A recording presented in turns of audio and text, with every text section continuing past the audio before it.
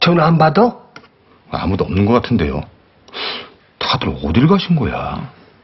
그러니까 처음서부터 왜 여길 데리고 왔어? 사장님 댁으로 데리고 와야지. 아니, 누가 데리고 오고 싶어서 왔나요? 집엔 죽어도 안 간다니까 어쩔 수 없이 데리고 왔죠. 그리고 제가 발견을 했으니까 망정이지. 안 그랬으면 영주 큰일 날 뻔했어요. 걔는 왜 집에 안 들어간다는 거냐? 응? 떠나 어디 떠나는 사람 큰 가방 들고서. 응? 저기 혹시 가출한 거 아닐까요? 가출? 그 성재하고 결혼을 하니 많이 해서 그 집안 시끄럽잖아요. 야 아무리 그래도 그렇지. 다 큰 처자가 집을 나오면 쓰나 이거.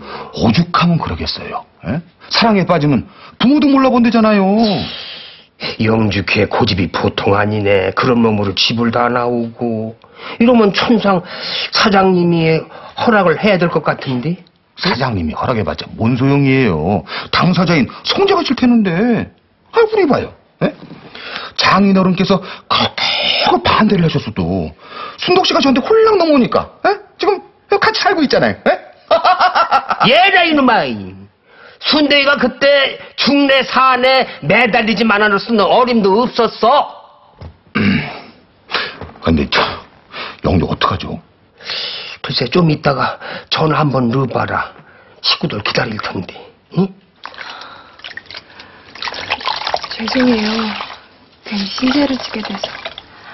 신세라니 모르는 사이도 아닌데 그런 말 마. 그나저나 열이 이렇게 많은데 어딜 가는 길이었어? 옷가방까지 들고?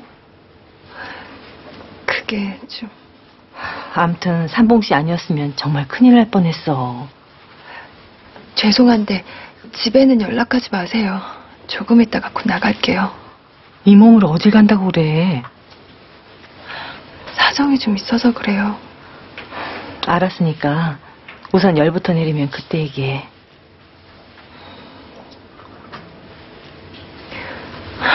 아주머니 기억나세요? 이 방에서 예전에 은희 언니랑 블라우스도 만들고 그랬는데 그럼 기억나지. 그땐 애땐 학생이었는데 지금은 시집 가도 되겠어. 그동안 연락도 한 번 못 드리고 죄송해요. 아니야. 이렇게라도 봤으면 됐지. 은희 언닌 잘 지내요? 어, 그게 성재 오빠한테는 얘기 안 할게요. 얼마 전까진 봉제 공장에 다녔는데 다른 자리로 옮겼어. 다른데요? 혹시 일하는 데가 힘들어서 그런 거 아니에요? 아니야. 나도 자세히는 모르는데 걱정할 거 없어. 언니 보고 싶죠?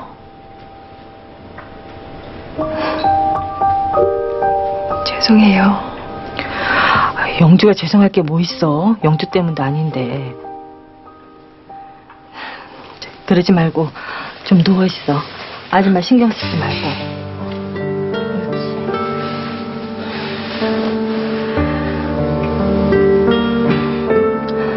잠시만 기다려.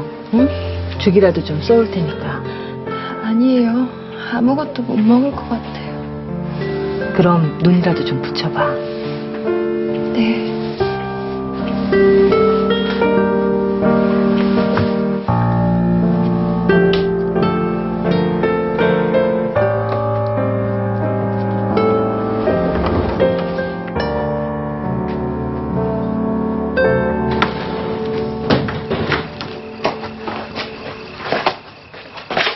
영주는 좀 어때요?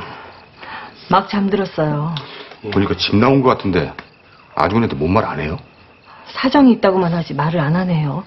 근데 사장님 댁엔 전화해봤어요? 아무리 전화해도 안 받아요. 영주 찾느라 지금 다들 돌아다니고 있을 텐데요. 응? 근데 우리 집에 있는 걸 알면은 괜히 또 뭐라 그러는 거 아닐까요? 누가 뭐라 그래? 누가 뭐라 그래요? 다 쓰러져간 애를 살려놨는데 고맙다는 말을 못한 망정. 야 그러지 말고 야 산모가 네가 한번 공장 한번 댕겨.